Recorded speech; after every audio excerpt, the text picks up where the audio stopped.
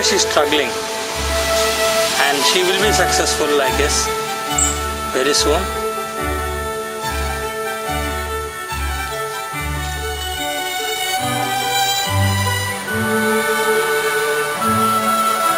And yes, she has come out of the web